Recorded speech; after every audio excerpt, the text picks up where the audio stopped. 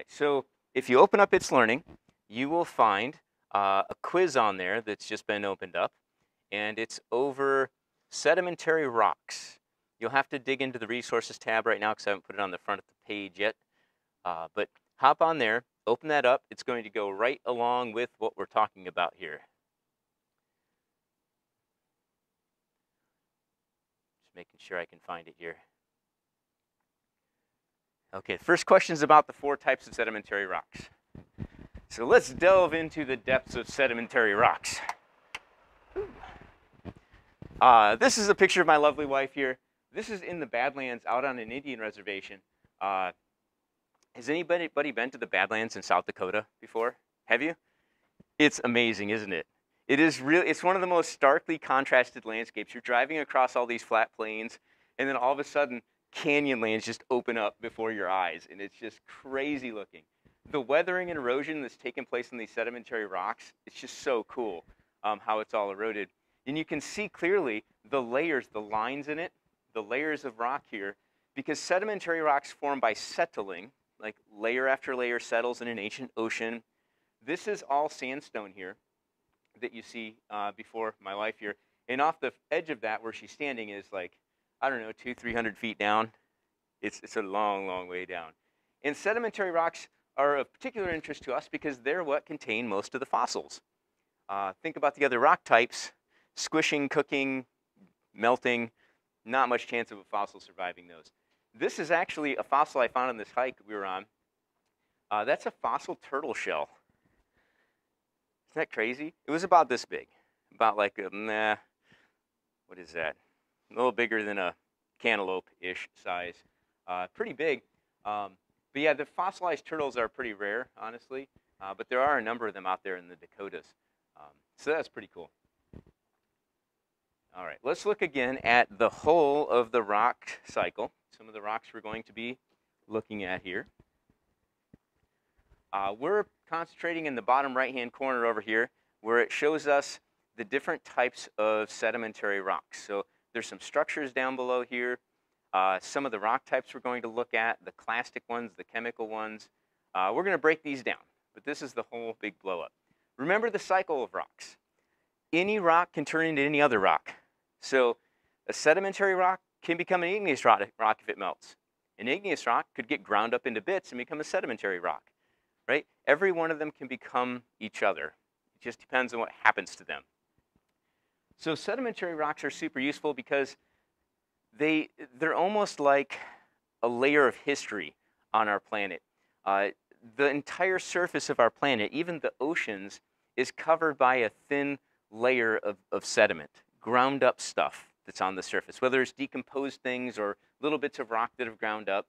But this, this material and that of it that's turned to rock is covering over a basement of igneous and metamorphic rocks.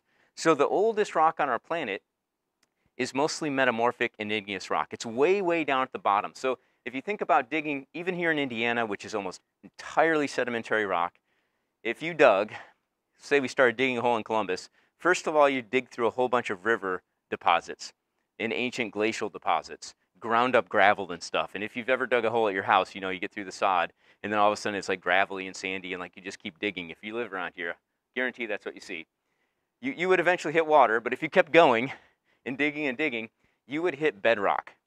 And the bedrock that you would hit would most likely be sandstones and limestones, sedimentary layers that are in sheets. If you kept drilling through the rock, hundreds of feet down, eventually you would get to the basement rock, uh, which would be some form of igneous or metamorphic rock, almost guaranteed, no matter where you are in the world. So in places like the Grand Canyon, you can start walking from the top and it's layer upon layer of ancient ocean, sand dunes, like layer upon layer, all the way down till you get to the bottom and you hit the Vishnu schist, which is a metamorphic rock. So it's been down there, it's been heated, it's been cooked, it's been mushed. It's ancient, ancient. It's billions of years old. So that's the basement. Um, and uh, we, can, we can see that in various parts of the earth, especially in the canyon, right? The first group we're going to talk about of sedimentary rocks is called the clastic rocks. I think that's part of the question here. What are the four types of sedimentary rocks and how are they made? The first group is the clastic sedimentary rocks. This is the traditional, like when you think of sedimentary rock, this is loose material that gets compressed, compacted, uh, and then cemented together. Okay, and this, these are the steps in forming this. So if you want to jot some of these down. The whole process is known as lithif lithification. Lithics is, is stone, so lith lithification is turning loose stuff into solid rock. So how does that happen? Well, this microphone here. That happens, first of all, the stuff's got to get buried. Okay, It's got to end up deep somewhere because it's got to get compacted. So if you're thinking about the material that's out here in front of the school, uh, whatever's out there underneath the grass is not going to turn to rock. We could wait a million years, it's not going to turn into rock. First of all, it's not very deep enough. It has to get compacted in the pore spaces between it, as you see in this picture here. They get crushed closer and closer together. It's got to get pretty tight. Secondly, uh, it's got to be cemented. And the way these things get cemented is by uh, forming in, in locations like underneath the ocean or underneath a lake where water can percolate through all those pores that are in this, the loose stuff that's been compacted and then start to deposit uh, cements.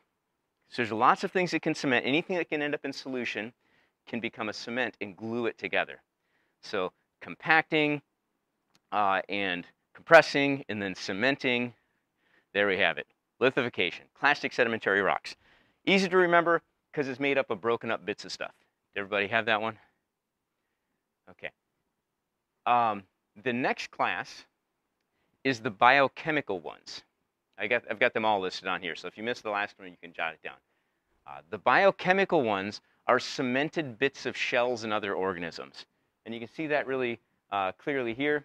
See all these cemented shells together. Some of you guys found those. Notice the brachiopods there. You found those in the creek. Um, so that's a biochemical one. Over there on the left is sandstone, and it's hard to see the individual little pieces, which are called clasts.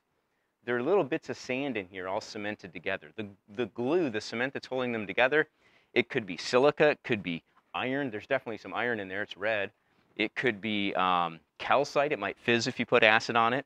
So we'll test those things.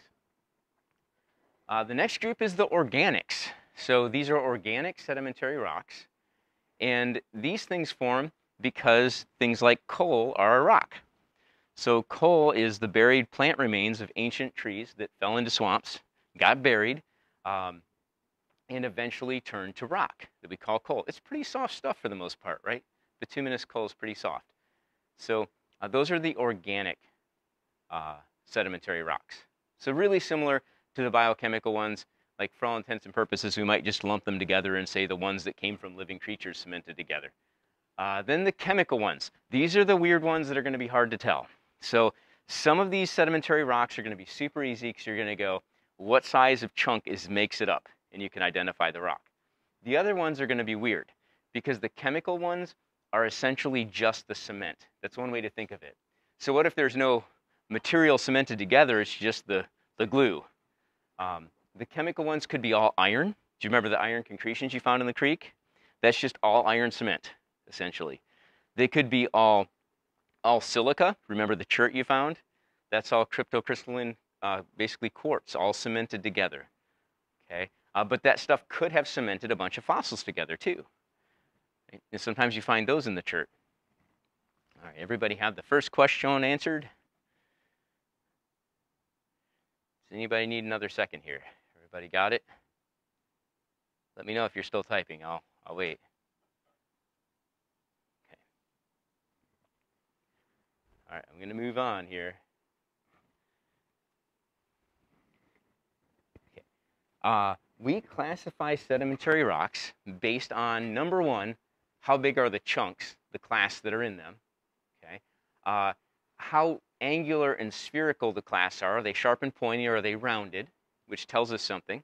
Um, how well sorted they are. Uh, and then what, what's gluing them together? That's pretty much what we look at because you can have just about anything inside of a sedimentary rock. It's just ground up bits of stuff. Okay, so you get all kinds of different ones. Um, this is not a super well sorted one here. There's all sorts of different sizes in here. But because it's got some of these larger ones, we would probably call it a conglomerate because they're rounded. See how they're rounded little pebbles in there? Now, we can find out a lot about a sedimentary rock by looking at those clasts. How rounded are they? And this will tell us how far it was transported. So think about a rock that's on the side of a cliff. It breaks off, it falls down, it crashes, it bashes, it cracks. It's sharp and pointy, right? If it, if it gets buried right there at the base of the cliff and gets lithified into a rock, it's going to be a rock that contains lots of sharp and pointy little rocks inside of the bigger rock. So we know it didn't get transported very far. However, if the stuff that breaks off rolls into a creek and washes in, in down to a creek and the creek grinds it up and runs it down the creek and then runs it into a river and it runs down the river and eventually it gets spit out onto a beach and gets buried and gets compacted and lithifies. Now we've got some material that not only is it smaller grains, but they're very well rounded because they got transported farther from the source. So you can answer that next question if you just look at that picture right there. The further something is transported, the more well-rounded it is. Right? The further it's transported, the more well-rounded it is. Okay. So the more rounded it will be, the further it's transported. Here's another picture of something pretty similar. Okay. Really well-sorted material, if it's well sorted, um, it's going to look kind of like this. If it's poorly sorted, might look like this. Was this the question that I had? I was thinking about rounding, but maybe it was about sorting. So also, as well as how rounded it is, the further it's transported, the better the sorting. Okay. So think about the creek. When the creek's making a sandbar and it's flowing, right? If it's flowing really fast, it will deposit the biggest pebbles. So the big sandbar with all the big rocks on it, the only way the creek could put new rocks up there is if it's really moving. So it gets higher, it really flows fast, and it picks up those bigger pebbles and cobbles and drops them there. As it slows down, the water level drops too. It's slowing down. It can't even reach the top of that sandbar anymore. It slows down now to the point where it's going slow enough that it's depositing lots and lots of sand, like on the edge of that sandbar that we first come to when we walk out there. If it keeps slowing down, which it probably would, uh, it'll start to, de to deposit layer after layer of silty, clay, sort of really fine stuff. And you can feel that, like right as you walk off the beach, it goes from like gravel to nice sand to more mucky stuff right? And that's just because of the speed of the water going. Everybody get that one answered? Uh, trying to preview this with me.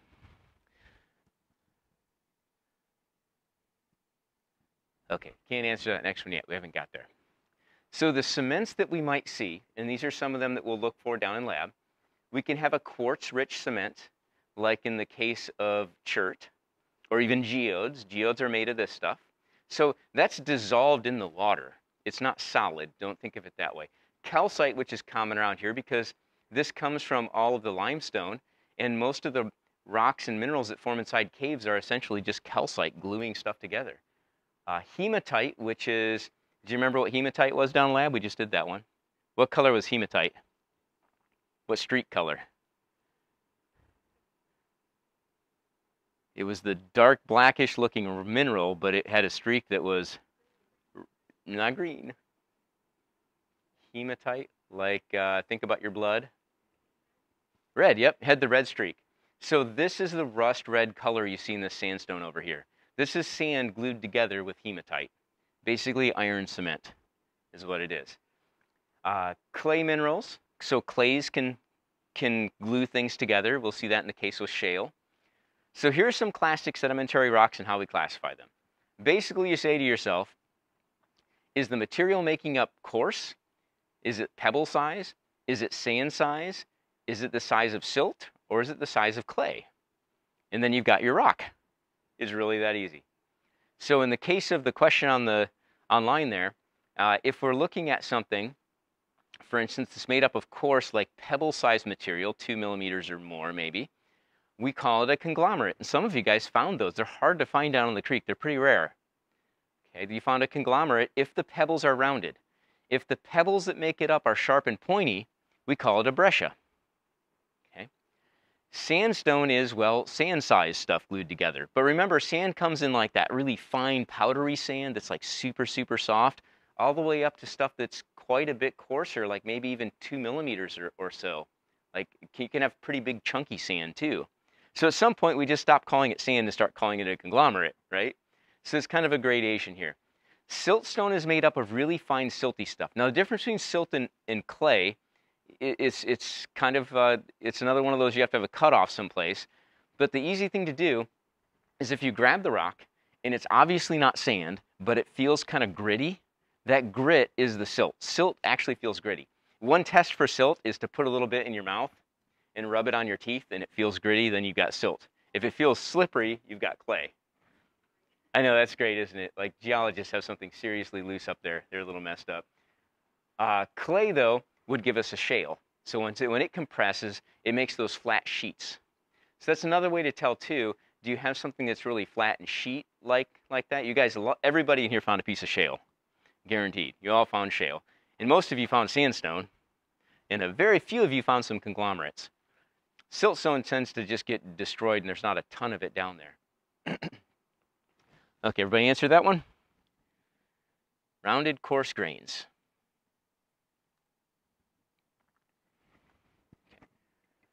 So let's look at those biochemical ones and those organic ones. So the biochemical ones, there's some hard mineral skeletons like shells actually pressed together and, and hardened up, like this limestone here. Uh, it's basically calcium carbonate, but there's all these shells all stuck in there that are cemented together. Organic stuff uh, is typically the remains of, we're talking about coal here. It's the remains of, of, of dead trees that have fallen millions, hundreds of millions of years ago and then turned into coal deposits. Uh, biochemical limestone is just limestone that's got a whole bunch of shell fragments in it. Uh, usually forms in warm tropical waters. So when we see all the limestone out here uh, in Indiana, we know this had to be a shallow ocean. That's where you get limestone. And then we start to find corals and all of those things. Uh, and there's lots of different types of limestone. Uh, the stuff that's really fine, we call it uh, micritic limestone, micrite. Uh, there's lots of different words to describe the types of limestone. And part of that is because it's such a good building material. Like all of um, basically Washington, D.C. is built from Indiana rocks. Like we shipped all of our rocks from Bedford over to Washington, D.C., and an awful lot of the monuments and all that stuff, it's all limestone, is built from our rock, which is kind of neat.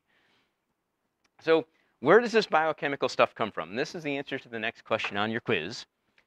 Uh, chert is, is made of a type of quartz known as cryptocrystalline quartz. So it doesn't form big crystally looking things. Um, it's more opaline. It's more, uh, uh, it, it, it, it, breaks in these nice conchoidal fractures, um, it, but it doesn't look like big crystals, okay, as, as it would inside of a geode. So where does this type of silica come from that makes chert? So we're talking about like basically liquid quartz here, SiO2. So how do you get that? Well, it turns out there's some critters known as diatoms and radiolarians that are all over the place in shallow oceans.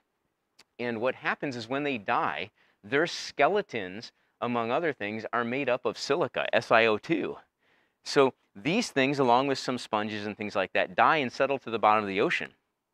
So if you've got, say, a layer of limestone that's been formed underneath the ocean, and then later on, a deposit of these things happens.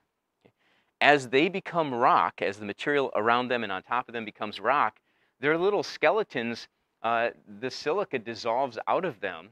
And then what happens is it will fill in voids in the other rock. So if there was a, say there was a shell fossil inside of this limestone, the shell might get totally dissolved away and it might be completely replaced with silica from the, from the skeletons of these tiny, these are little, um, radiolarians and diatoms are microscopic. They're really small. Okay, you see them in ocean water. They're super, super common even today. So that's typically where all that chert comes from that you guys find. There's so much of it. Why is there so much? Well, it's hard. It scratches glass. Whereas limestone just wears away over time, the chert is resistant to chemicals, is resistant to tumbling in the creek. So every orange rock you pick up, every gray rock you pick up is almost always chert down in the creek. Right? Did everybody get that one? Where the opaline silica comes from? You got it? All right. Now the coal-bearing um, seams that we see uh, come from the altered remains of ancient fossil vegetation. Like it's literally fossils. And there's sometimes you can break open a piece of coal and you'll find a little fern leaf in there. You'll find like plant parts inside the coal. It's, it's super common.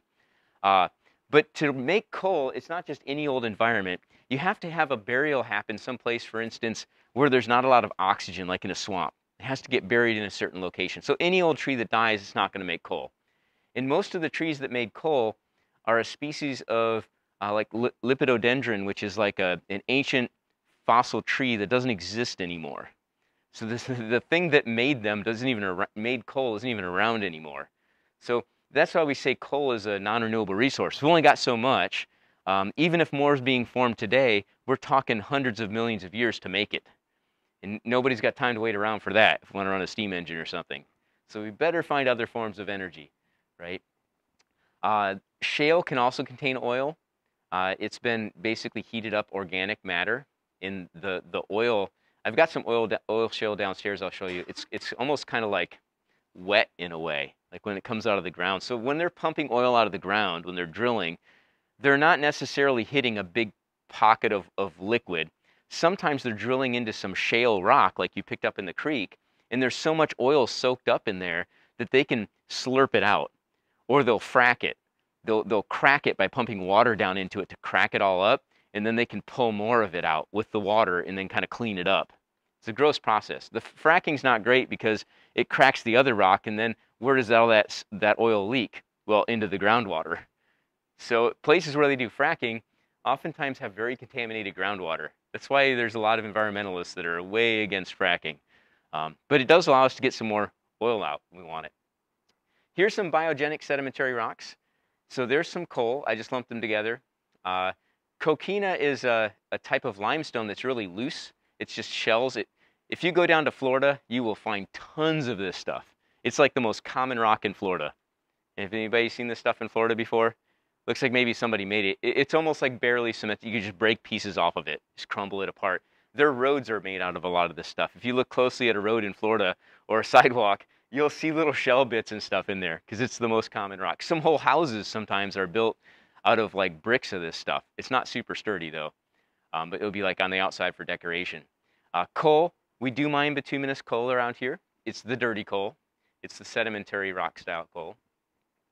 A couple other sedimentary type rocks. Something known as travertine, which we talked about already when I showed you those speleothems. Uh, this is the, the technical name for the rock that makes up the formations in the, in the caves. Okay? Can also form on the surface of hot springs, but it's full of calcium carbonate. This stuff would fizz like crazy. It's basically calcite. Um, so this happens because uh, of the calcium uh, that's dissolved in the rock, out of the rock, and then it mixes as it goes through. Uh, it, it, comes into contact with the air and the surface of the cave wall, and then it precipitates, and you end up with these cool formations. We already talked about that stuff. All right, here's a weird thing that happens, and I wanted to mention it because you see it down in the creek, and you have identified it for your rock collections. Um, limestone can turn dolomitic. So dolomite is actually a mineral. It's, it's a pretty looking mineral. It has a crystal shape and everything. But limestone can become what's known as dolostone or dolomitic limestone. As it gets really old, uh, it gets altered so that some of the calcium gets replaced by magnesium. And that has kind of two effects on it. One, it turns kind of this buffy color, and you can see the top layer here is buff and the layer beneath it um, is more the, the, the, traditional gray limestone color. Okay, so this, this, is, this limestone has turned dolomitic. It's now dolomitic limestone. And then you see the picture on the right is some dol dolostone, some dolomitic limestone. Um, it's, it tends to be a little bit more porous, so water can move through it better, um, and it tends to look sort of this color. Now, what's, what real effect is there? Well, it will no longer fizz when you put acid on it you've got to scratch it and powder it, and then it fizzes really well. And that's why we were digging at it with the nail, and it's just because some of it's been replaced, replaced with magnesium. Now, the truth is, nobody really knows exactly how this happens. it's kind of a little bit of a geological mystery. Um, we just know that it does happen. We just, nobody really knows exactly how the process takes place. And it's something that's kind of currently being studied. Um, there are some different ideas, but nobody knows for sure. Everybody answer that question? Everybody got it? Okay.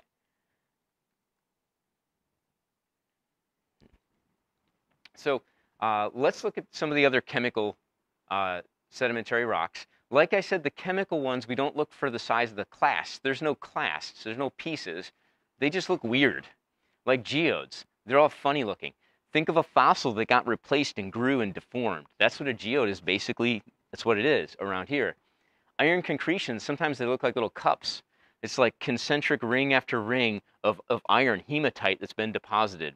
And so when you rub it on something, it's like rubs that bright reddish orange rust color. Uh, limestone, which can come in so many varieties, but always is going to do what when you put acid on it? Fizz, right? That's because it's made up of calcite cement. Chert is a silica. It's basically quartz. So what would the hardness be for chert? What would you be able to do with it? Yeah, it'd be up by seven, right? It'd be around seven because you'd be able to scratch glass with it. It's some hard stuff. So if you're ever not sure, see if it fizzes, and then see if you can scratch glass with it. Now remember, chert around here forms inside of pockets in limestone. So it's not uncommon to find a piece of chert with a hunk of limestone still around the outside of it. Totally find that. Same thing with a geode. You can find a geode with a piece of limestone still attached to the other side of it, where it just hasn't worn away yet, because those both weathered out of the limestone. Okay, sedimentary rocks. This is the answer to the next question. As they form, where they form, uh, what they are, tells us a lot about where they formed. So looking at a near shore environment, let's say a beach, the stuff on the beach, as you know, is sand. So there's an environment where sandstone will, will likely deposited and formed. As you go further out from the beach, the, if the ocean is calm enough, the really fine particles start to get deposited, the little silts that are really, really fine stuff, the silts and the clays get put down, and so you'll end up with shales, those flat layered rocks that we looked at. If you go out just a little bit farther, but still considered near shore, so we're not talking deep ocean here, shallow, has to be very calm. The water itself that contains lots of calcium in it, it will, it will crystallize out of the water, it'll precipitate, and it will settle to the bottom. Like there has to be a lot of it in there. That's what the shells make their bodies out of. Like creatures that have shells, they take calcium out of the water and build their shells. And then when they die, they sink down or stay down in the limestone. So our limestone has so many crinoids and brachiopods and all kinds of stuff in it because it's this is like out by where the reef would be. Okay? And this is even more inshore. Has anybody been on a reef? Like in Florida? No? Like a lot of them are a, a good distance out from shore, but they're still shallow, right? They're still not super deep. Swim down. You guys should go to a reef sometime. They're beautiful, beautiful, beautiful places. Okay. Everybody got it? Don't answered there? Okay, pop over to the next question. Oh, while we're on the topic, does anybody know where the sand on the beach comes from? Where does it come from? The what? Volcanoes? Fish poop, yeah, fish poop. No. the sand on the beach actually comes from the breaking down of rocks way, way inland. So think about granite that we've looked at. All those little bits and pieces in there. John, you, you identified correctly that it had quartz in there. The little tiny quartz pieces are the hardest parts inside that rock. And so when everything else wears away and completely dissolves and is destroyed, the little quartz pieces, the tiny little crystals, keep bouncing their way along down the creek to the river, out to another river, out to a bigger river, eventually to get dumped into a gulf someplace at the mouth of the river where all the sand goes free and ends up in the ocean. So it all starts on land, like in a mountain range, with little bits of granite and things like that that have quartz in them. Because most of the sand is tiny, tiny, tiny little pieces of quartz. If you look at it under a microscope, it's beautiful. It's really, it looks like all these little crystals. Now, how do the oceans get salty? Ooh. The salt comes from the same place. Turns out, when you break down things like feldspar, it completely weathers away and dissolves into salts you get things like sodium and think calcium and stuff like that, and that washes its way all the way out. Yeah, John. Ooh, that's a good question. Um, I don't think it's happening fast enough that we're going to notice a huge salinity change, But that's a fantastic question because you got to wonder if stuff is constantly washing in from the land, wouldn't it get saltier? And it would if it wasn't for the rock cycle. So check this out. In the oceanic ridges, in the middle of the oceans, new rocks being formed, and then it pushes outwards, right? And so out at the edges of those plate boundaries, those plates are subducting and getting pushed down and remelted into the mantle, right? They're getting pushed down. So the Earth's not getting bigger, the plates are just getting subducted. Well, as all those little creatures in the ocean make their bodies and the things precipitate and settle down to the bottom, it takes salt out of the water and puts it into the rock. And then the rock gets pushed back down underground and melted, and then burps back out of a volcano on land, and the whole salt process starts all over again. But as far as salinity goes, I suppose if enough glaciers melted fast enough, we would, it'd be real bad for ocean life. Like, you, like the salinity of the ocean's been stable for, I mean, hundreds and hundreds of millions of years, the ocean salinity's been stable. Um, shoot, for at least as long as probably our atmosphere's been the same, I would say. Um, so yeah, a big change in ocean would be real bad. Yeah, John.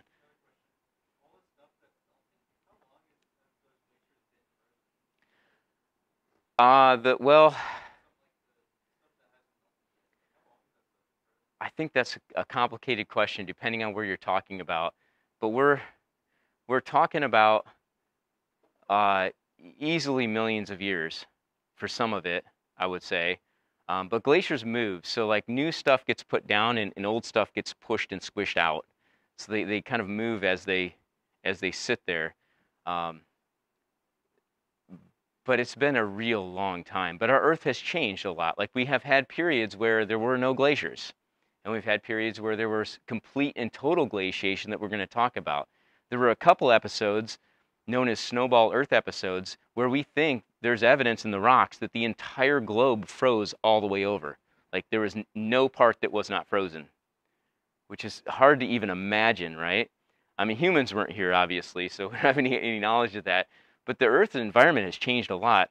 What we do know is when those fluctuations have happened, with especially with climate, there have been major mass extinctions. Just about every mass extinction in the fossil record has some form of a climate event associated with it.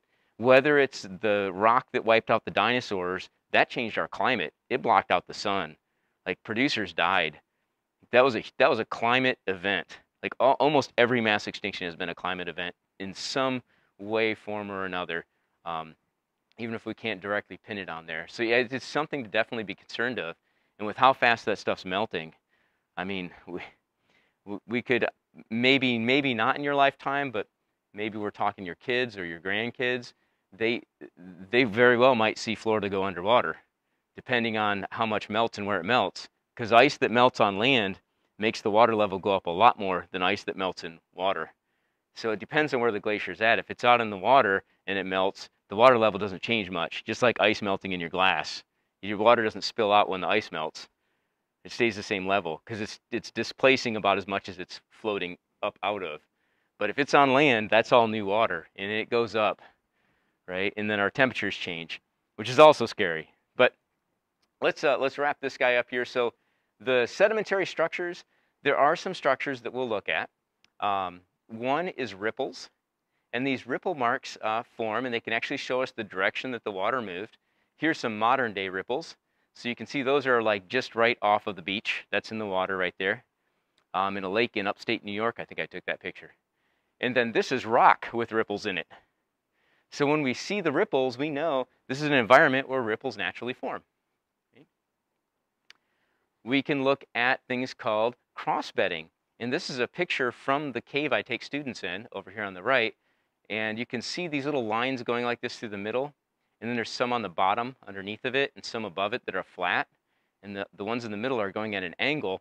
That's cross bedding so this happens when you've got sediment that's getting deposited and it kind of gets pushed up a gentle slope and slides down the other side and it piles up. And you can think of it in terms of either a ripple or even something as big as a sand dune. Has anybody been up to the indiana dunes? Michigan dunes? Oh it's fantastic isn't it like you go up there and you can get running and just jump, launch yourself off of those things. It's so cool. But if you walk up it, like if you're at Tower Hill, it's this long gradual hike uphill. Like it's a long time to get up to the top. But once you're on top, if you look down over the backside that's somewhat wooded, it's very steep. That's called the slip face.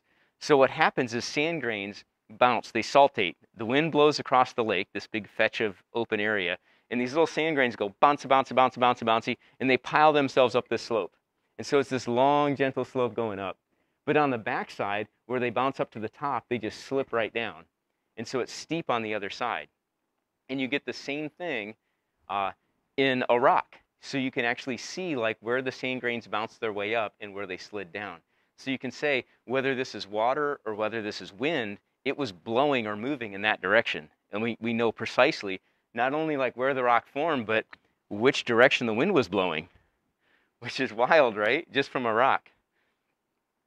Uh, this is another example of reading those cross beds. So you can see here the bouncing, which way it went, where the slip face is, and those are those cross beds.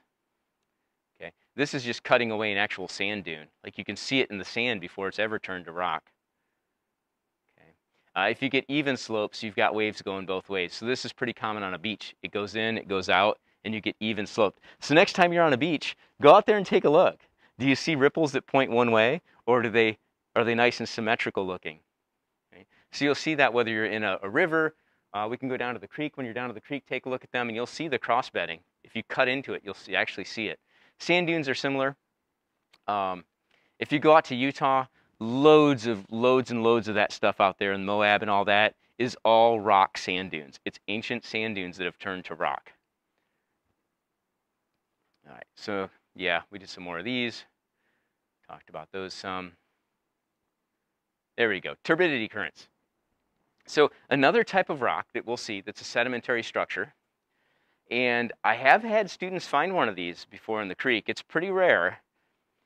They're graded. So if you find a rock that's got a bunch of little pebbles in it, and right up above that are a bunch of even finer pebbles, and above that is even finer sand, and maybe above that is some fine silt.